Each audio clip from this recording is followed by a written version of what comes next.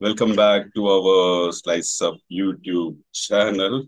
And uh, Shiva, what you are holding in your hand, uh, it's uh, looking like an hand fan. This is not a hand fan.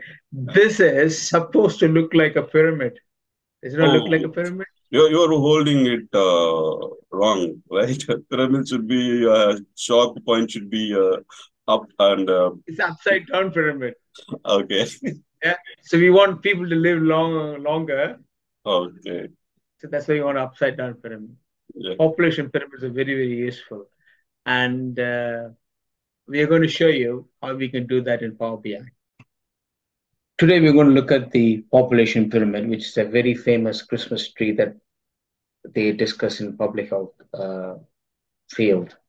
And uh, it's basically the age, sex, structure of the population, which determine then population needs and the kind of uh, diseases that are possibly present within your community. And in order to do that, population pyramid, it can be you will be using a combination of DAX and uh, the charts. So first of all, I, I need to make sure that I write the appropriate DAX. For, for female population, for instance, I have done a calculation. Basically, I look at all the population count for that particular age group, and then I look at the, I filter the data for what is the female uh, population count, and then I times it by minus one to get the negative side of the population pyramid so that it can have a mirror image for the, both the males and the females. Similarly, I've created another uh, DAX calculation for the male population. This time, no minus one because it's a positive side with the males. So I got like two different calculation. Basically, in order to do a population pyramid chart, you need to select the stacked bar chart first, and you can go to your population table. Uh, like I mentioned about the DAX query, you need to bring in the both the male population into your x-axis and your female population into your y-axis. Make sure you get a setup like this, and you can uh, choose your data labels so that you can display the percentages, get a negative and a positive value, and you got the male and the female population as legend. As I, as I have by default, we got both the on uh, buttons for both the legend x-axis and y-axis. Next, you need to bring in the age group.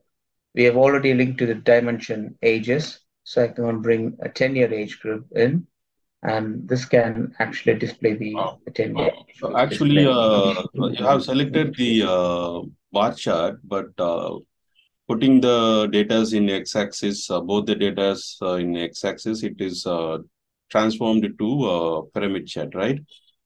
That's correct.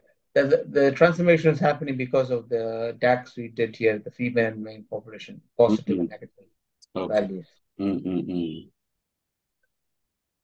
And it's a stacked bar chart for visual. So it comes like this into a single, yeah. And uh, you can use your um, general tab to get your title. Uh, you can name the, give FX background colors and all the visuals. So you can uh, give a visual border for it, uh, for the charts, and you can give a shadow, so on and so forth. You can play around with the visuals and uh, create a, a suitable chart here. Okay, so so uh, there should be two values, uh, one positive and negative value to make this chart.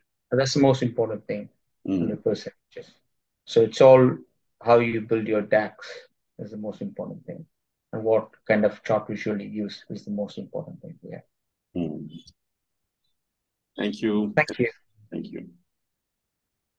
Thank you. Thank you, Shiva, for showing uh, how to do power population pyramid in uh, Power BI. And I'm quite uh, interested that you have used some negative negative values to build a pyramid. and and looking at that object uh, and pyramid, uh, it's it's coincide. So good. And uh, viewers, thank you, thank you for uh, watching our video and uh, give you a valuable comments, thumbs up, and uh, subscriptions. See you in next video. Comment, comment. You forgot about the comment. The valuable. Valuable comments on feedback. Gonna give us. Yeah.